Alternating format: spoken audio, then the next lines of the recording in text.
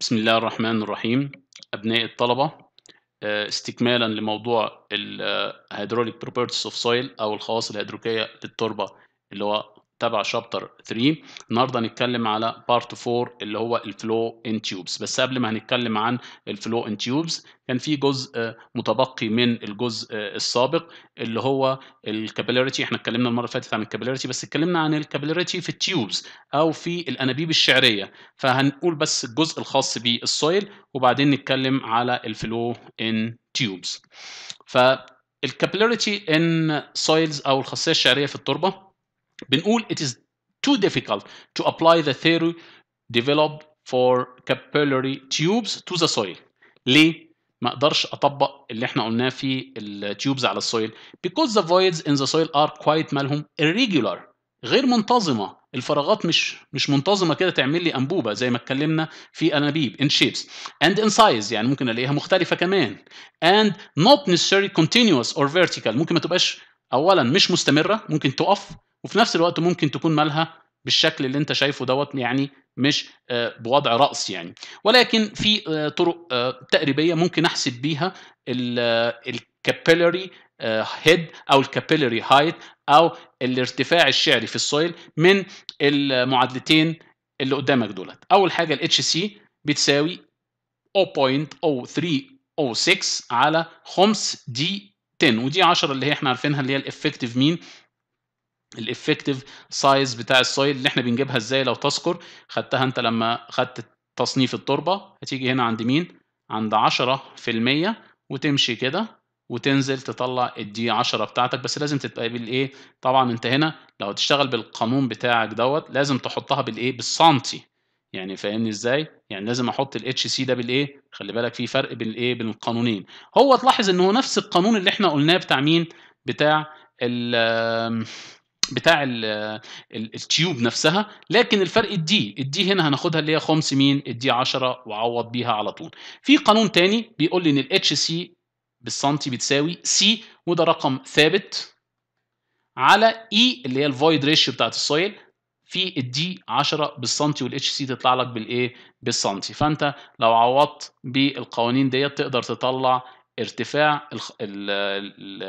الارتفاع الشعري في ال soil نبتدي بقى نتكلم على ال types of flow أو المية في الأنابيب. عندنا في نوعين من ال flow اتعلمناهم قبل كده في الهيدروليك. في عندنا laminar flow أو steady flow وفي عندي turbulent إيه flow laminar flow where the particles of the water follow a designated path such that the path of one particles never intersect the a path of a any other. يعني الحبيبات كلها ماشية مع إيه مع بعض ومش ممكن مالها يحصل لها تتقاطع مهما حتى لو كانت الأنبوبة واسعة وبعدين بقت مالها ضيقة. ما تقوليش إن هي هتيجي كده وبعدين تتقاطع مع ده. لا هي كلهم هيمشوا مالهم هيبقوا بالشكل اللي أنت شايفه. مفيش تقاطع خالص ولكن اللي بيحصل إن الكثافة بتاعتهم هنا بتبقى أكتر من الكثافة هنا شوية.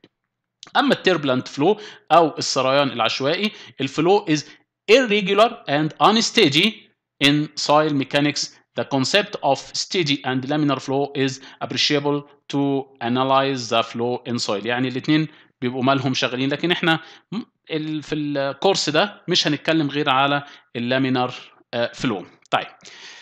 هنبتدي نتكلم زي ما اتعلمنا قبل ما نتكلم عن ال soil هنتكلم شوية عن السريان في الأنابيب. فلو أنا عندي أنبوبة بالشكل دوت عشان يحصل سريان للمية من نقطة واحد لنقطة اتنين لازم يبقى فيه هنا ضغط اسمه اتش واحد والضغط أو الهيد هنا اسمه اتش 2 وفي فرق اللي هو H واحد ناقص H 2 هو ده اللي بيسبب لي سريان المية لمسافة اسمها L لو انت عندك الأنبوبة ديت قطرها R capital خلاص؟ الايه الأنبوبة قطرها R capital فاحنا هناخد جزء صغير منها من المية اللي هنا. كويس؟ سمكها لاحظ سمكها قد إيه؟ dr. ده بيبقى على مسافة اسمها مين؟ r من ال center. خلاص؟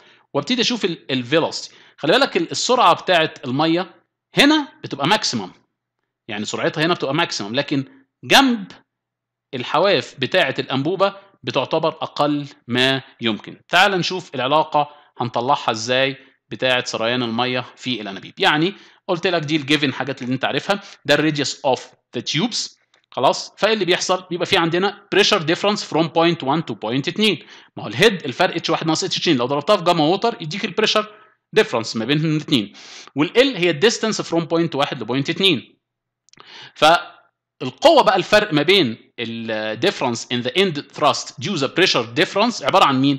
pi r square ما هي المساحة. ما هو ده pressure عايز أجيبه force طب ما ال force أجيبه إزاي؟ هضربها في المساحة. يبقى المساحة pi r square في gamma water H 1 ناقص H 2 لو أنت عارف ال viscosity بتاعت ال liquid اللي هي eta ديت وعندك r اللي هي ال variable radial distance اللي هي متغيرة زي ما إحنا اتفقنا قبل كده لو رجعنا تاني للجزء ده ده اللي هي ال r المسافة ديت. خلاص؟ ف وال velocity of the flow at radial distance r برضك دي متخلفة أو مختلفة آسف. ف ناقص dv على dr دي عبارة عن اسمها الايه؟ ال velocity gradient أو التدرج بتاع مين؟ التدرج بتاع السرعة. لو ترجع تاني شايف السرعة هنا؟ السرعة هنا متدرجة.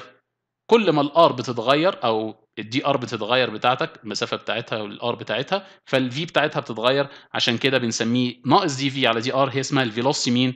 gradient طيب. آدي الشكل بتاع سريان المية. بنقول إيه؟ ال thrusts at point واحد واثنين ماشي؟ must be balance لازم يبقى فيه اتزان. by shearing stress on the sides of annular ring. يعني إيه؟ يعني لازم يبقى فيه القوة بتاعت السحب من المي من من واحد لاثنين ما دي اللي بتسحب المية ماشي؟ بتتزن مع مين؟ ال shear stresses أو الإجهادات القص. فين؟ على ال ring نفسه على ال ring اللي إحنا بنتكلم فيه ده.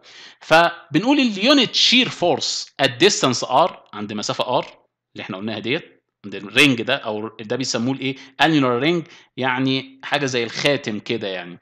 ف بتتناسب مع مين؟ مع ال eta بمعنى إيه؟ يعني ال shear force ديت بتزيد لما ال viscosity مالها بتزيد وده إحنا عارفينه من زمان. وال unit shear force نفس الكلام ال distance r مالها بتتناسب مع السرعة بتاعت مين أو التغير في السرعة بتاعت المائع نفسه. So the total shear force acting on the surface of the annular cylinder لو أنا عايز أجيب بقى ال shear force كلها إحنا قلنا هيبقى فيه اتزان. كلمة اتزان يعني إيه؟ يعني لازم ال force بتاع ال thrust اللي هو قلنا إيه؟ pi r square ده اللي هو المساحة. في gamma water H 1 ناقص H 2 ده ال pressure أو فرق ال pressure بلاش نقول pressure فرق ال pressure هو ده أو فرق ال head كلمة H 1 ناقص H 2 ده فرق ال head لما اضربها في gamma water بقى فرق ال pressure لما اضربها في المساحة بقت فرق ال force دي بتساوي بقى مين؟ نتكلم بقى في مين؟ في ال shear. عبارة عن 2 pi r خلي بالك 2 pi مين؟ r في L 2 pi r في L اللي هي عبارة عن إيه ديت؟ المساحة الجانبية. المساحة الجانبية بتاعت مين؟ بتاعت الاسطوانة اللي زي دي كده.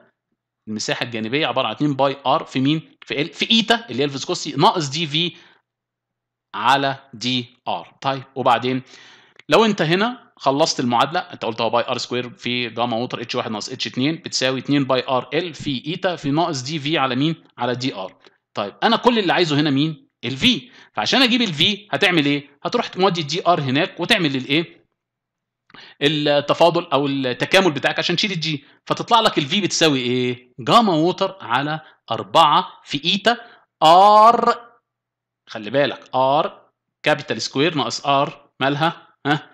square إيه الفرق بين R دي و R ديت؟ R ديت هي عبارة عن نص قطر مين؟ الأنبوبة كلها. لكن r دي variable متغيرة. يعني عند كل r هنا r واحد وهنا r اتنين. أو آسف ما بتتقاسش من هنا ال r دايما بتتقاس منين؟ من ال center يعني في r واحد وفي r اتنين و r تلاتة و r أربعة. أكبر r اللي هي ال R يبقى R square ناقص r ماشي؟ في مين؟ في ال i i ده اللي الهيدروليك مين؟ gradient اللي هو عبارة عن مين؟ H على مين؟ فرق اتش على ال يعني اتش 1 ناقص اتش 2 على ال فلو تيجي تخلص بقى ده ال V طب ال V انت عارف عارف ال Q بتساوي إيه؟ ال Q بتساوي area في فأنا ممكن أقول إن ال Q بتساوي pi في مين؟ في gamma water 8 في eta في مين؟ في i في R إيه أس كام؟ 4 يعني ممكن أقول دي جت منين؟ من هنا ال Q بتساوي ها؟ gamma water على 8 eta R square ناقص i في مين؟ في ال area ده يجيب لي ال Q أو كمية المية اللي ماشية في الأنبوبة بتاعتي. شكرا.